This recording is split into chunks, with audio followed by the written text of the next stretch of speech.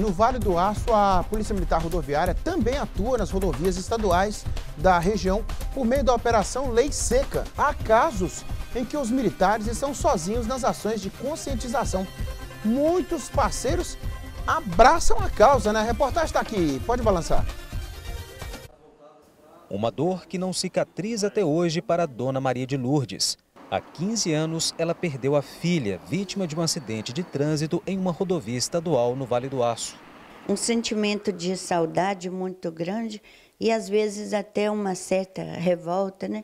Porque não precisava de ter acontecido o que aconteceu com a minha filha. É, foi, foi morta por causa de uma irresponsabilidade no trânsito. Para superar a tristeza, a Dona Maria de Lourdes se dedica a conscientizar o máximo de pessoas sobre como ter cuidados no trânsito.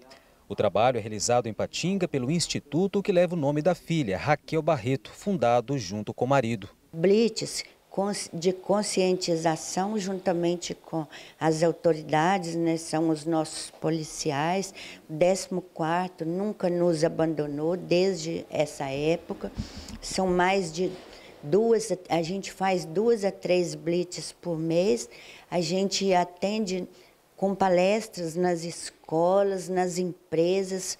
Maio Amarelo foi um, um trabalho o mês inteiro trabalhando nas nas empresas, nas escolas, escolas com quase 500 alunos, né? E assim por diante, e aí a gente vai levando esse trabalho, né? A Lei Seca eliminou a tolerância que até então não previa punição a motoristas que dirigissem embriagados.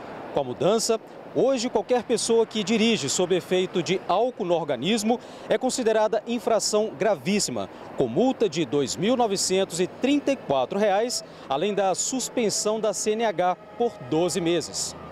Para esse policial militar rodoviário, desde que entrou em vigor, a lei seca mudou o comportamento de muitos condutores no Vale do Aço. Ele conta que hoje há mais conscientização respeito às leis de trânsito. A gente pôde perceber, né, nós que militamos aí na Polícia Militar, no, né, no trânsito de forma ostensiva e preventiva, que houve sim né, uma conscientização por parte aí, é, dos condutores, né, principalmente aí, né, é, com engajamento aí do poder público e também é, de empresas privadas em campanhas é, é, com, com um apelo muito emotivo é, em torno aí da, dos sinistros causados com vítimas e sequelados graves em decorrência de condutores, estando eles embriagados. No entanto, o militar lembra que álcool e direção é uma combinação perigosa e que continua fazendo vítimas fatais.